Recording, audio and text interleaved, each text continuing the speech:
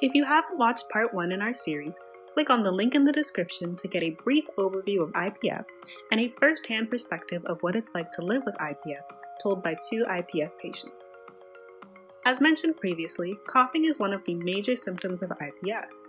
Coughing affects over 80% of all individuals with IPF and can negatively affect their daily lives. You may be wondering by now how exactly does coughing arise? And how can someone with IPF manage or even prevent their coughing? We have asked Dr. Satia, a cough specialist from McMaster University, to share his knowledge and expertise on this topic.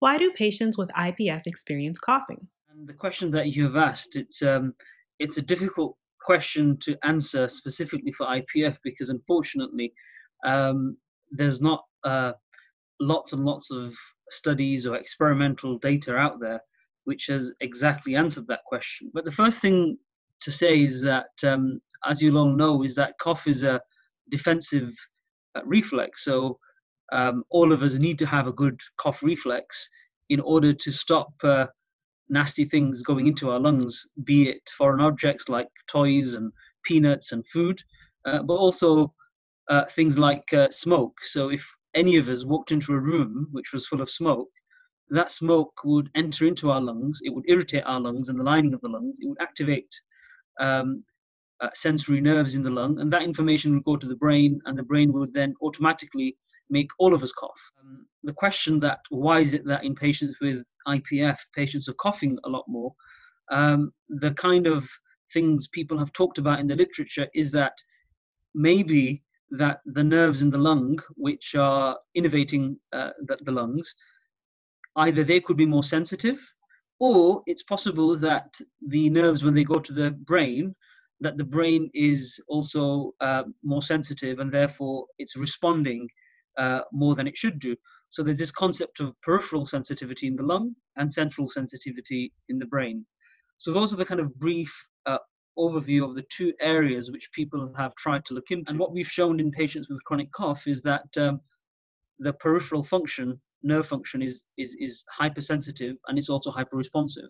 So we, we think that there's, it's related most likely due to hypersensitivity of the nervous system. Are there different types of coughs that patients may experience, such as a dry cough versus a productive one? And in patients with IPF, we've noticed that um, there are distinct groups of patients, and often that's related to um, the some of the consequences of idiopathic pulmonary fibrosis. So one of the common things that can happen with people who have more severe idiopathic fibrosis is that when the lung um, it, uh, it fibroses, it has a pulling effect, and that pulling effect can sometimes open up the airways and cause a condition called bronchiectasis, which is dilatation of the airways. Um, and when there's a IPF, which is associated with traction bronchiectasis, that we normally uh, call it, often these people can get sputum and mucus and infections in those little airways. And when they cough, often it's quite a wet or productive cough. Whereas another group of patients, often when they cough, um, it's often very dry. And even when they say it's productive, when you ask, ask them the question that how much phlegm or mucus they bring up, often it's a very very small amount so so that's how i normally quantify the, the cough i ask patients that you know if you if you if you are coming up with a productive cough how much is it you know in terms of volume? Um, because the treatment can sometimes vary based on whether it is productive and it's secondary to bronchiectasis or whether it's dry. What are some ways to prevent or treat coughing? The first thing to say is that uh, there's no currently licensed treatments for chronic cough. Um, um, and you know, the last licensed treatment that we had was maybe over 30, 40 years ago, when uh, a substance called dextromethorphan, which is commonly found in over the co- over the counter cough syrups. What you when you go to a pharmacy, you'll see lots of cough syrups, and almost all of them will have dextromethorphan. And the evidence from for that is is relatively weak, um, and it's 40, 50 years old. So because of that, we don't have any licensed treatment for chronic and cough. Also, uh, there's been some in the last 10 years. There's been research looking at non-medicinal treatments uh, such as speech and language therapy to try and control the cough. You know, things like breathing techniques that we can use to suppress cough, which may have some benefit. In patients who you've excluded infections, inflammation, uh, any other serious causes, and the cough is truly, if you think it's related to neuronal hypersensitivity, and that's a key question, you have to kind of be sure that uh, um, it's a neuronally driven mechanism. In, in that situation, uh, there's three or four options that patients may have. Um, the first option is to use uh, very low doses of opioids or morphine sulfate. And these are very, very low doses, not the doses that you would generally use uh, for controlling pain in cancers. So this is 5 to 10 milligrams.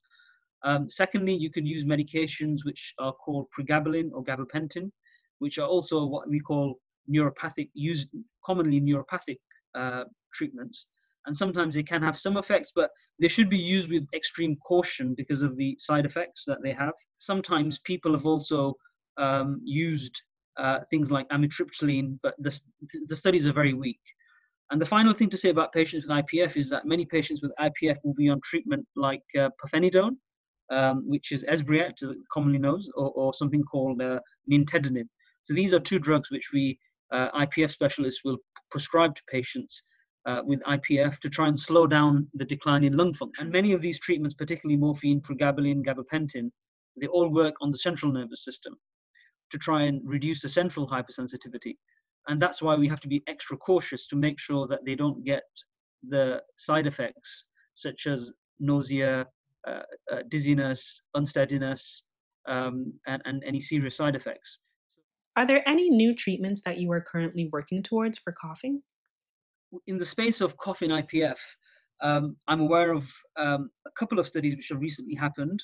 Uh, one was with a substance called sodium cromoglycate. So this is a, um, a medication uh, which was actually used many, many years ago as an in, in an inhaled form for asthma. But uh, a company called Patara developed this sodium cromoglycate in a nebulized form, uh, and they used that to study cough in IPF. And they showed that uh, in a nebulized form, there is a reduction um, in uh, coughing in patients with IPF. So that was a very small phase two study, uh, and I'm not sure whether they've taken that on to uh, phase three yet. Um, secondly, I know of uh, a study which was finished a couple of, last year of a substance called gefapixant, and this is this is an interesting medication because this is a tablet medication which blocks uh, a receptor called P2X3. And this is an ATP receptor.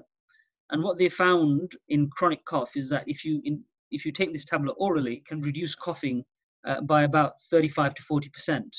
And that study was in chronic cough patients. So that was just published in phase three.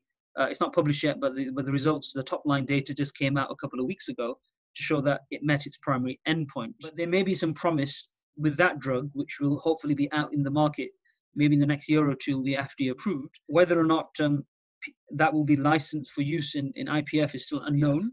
Um, there are some other medications, such as something called neurokinin antagonists.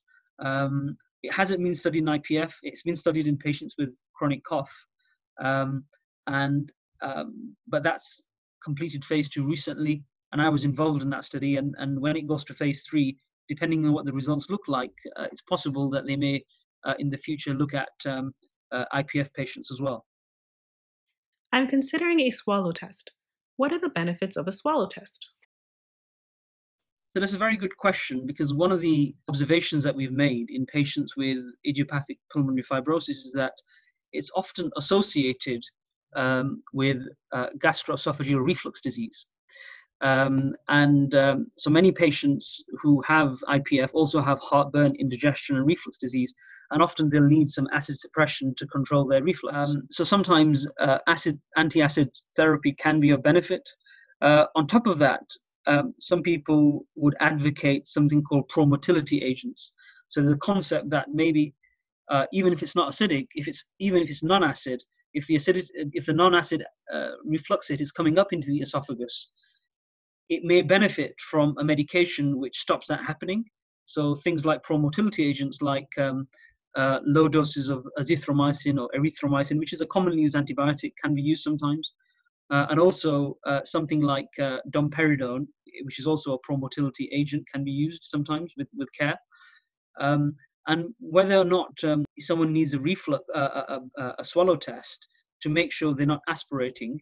If they fear that when they're eating or drinking, they feel as if something is going down the wrong way, then I think that's a, a worthwhile test to do to make sure that they're, they're, they're not aspirating because uh, that could be uh, something which can be uh, potentially identified and treated. Thank you for watching, and we hope you learned from our videos. Please be sure to consult with your doctor for more information and to discuss possible treatments for you. We have attached more resources and support groups in the description box below. If you or a loved one are affected by IPF, remember you do not need to go through it alone.